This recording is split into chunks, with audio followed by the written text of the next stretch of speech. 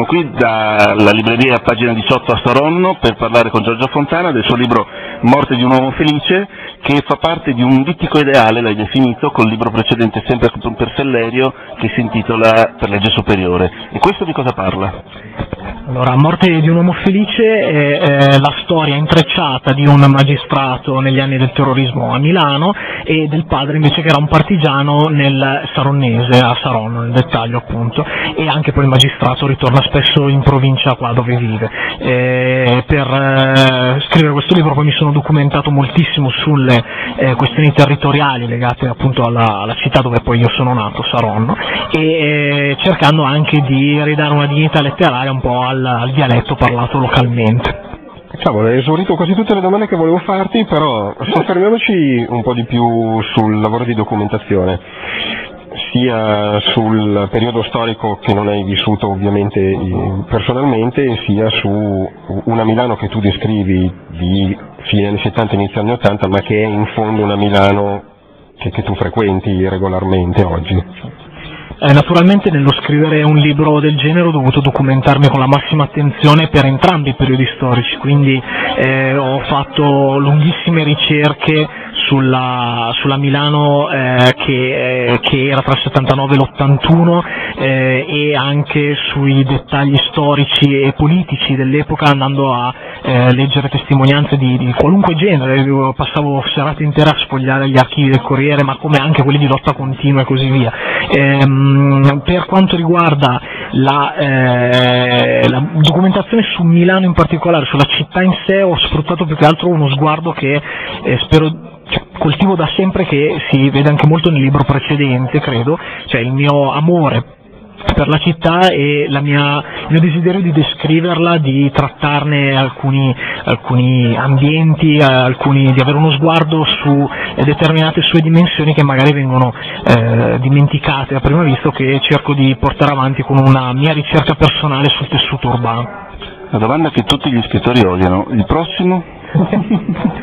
allora, eh, ancora è un po' prestino perché questo libro è uscito solo da tre settimane e eh, sono, mh, mm, diciamo che devo riordinare le idee e riposarmi un po', però prova, molto probabilmente se, eh, se l'idea che ho viene, verrà portata poi avanti effettivamente sarà ancora una storia inventata a Milano, però eh, non, non, più una storia di giustizia, magistrati e dintorni. Ho chiuso con il dittico quello che dovevo, avevo da dire al riguardo, sarà possibilmente una storia d'amore. In tutti e due i romanzi di Sellerio c'è questa cosa del ragionamento sulla difficoltà della giustizia, intesa come applicazione del diritto e come anelito qualcosa di, di, oltre, di più significativo, soprattutto per chi subisce i torti peggiori. Eh, mi chiedo se alla fine sei riuscito a cristallizzare un punto di vista su questa mega gigantesca questione.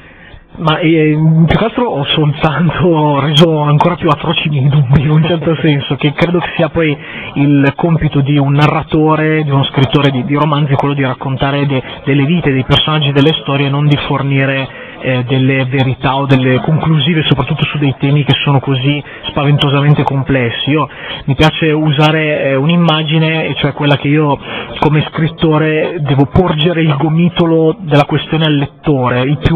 il più annodato chiaramente possibile in modo che i nodi si vedano tutti, ma poi spetta al lettore cercare il bandolo della matassa e scioglierlo, quello sarebbe, un, sarebbe molto presuntuoso da parte mia arrivare con una, eh, una morale, una verità preconcetta, non, non, avrei scritto un romanzo, avrei scritto probabilmente un saggio o, o qualcosa del genere. Metà del, scusami, metà del libro è ambientato durante la guerra partigiana.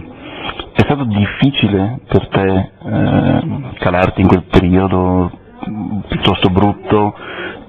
oppure il fatto che fosse ambientato nei luoghi che conosci, nei quali hai passato l'infanzia ti ha in qualche modo facilitato o peggio ancora invece ti ha messo i bastoni tra le ruote? Eh, è stato da un lato sicuramente molto delicato perché eh, era uno sforzo di